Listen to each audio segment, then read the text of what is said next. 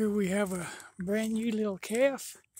It's probably born last night, maybe the day before. I just checked mom and she didn't look like she was uh, going to have a calf, so I guess I'm not very good at checking. Anyway, she's looking for a mama. She saw me come up and it scared her. Oh, she's looking at me and her mama's over here. I just opened the gate to let them in the hay because I can't get the tractor in to move the hay.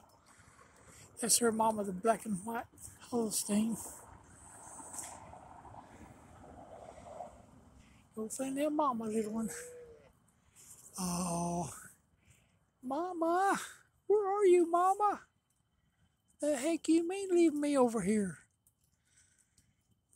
There's the other th three adults.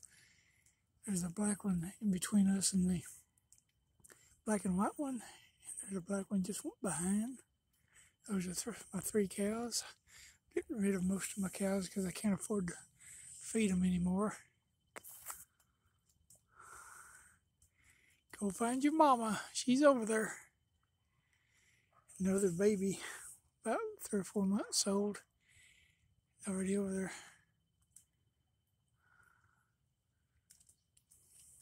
No. Mo, leave him alone. Leave it alone. Oh, did I get off of it? Yeah, there it is. Okay. Anyway, my herd's back up to five. My bull died.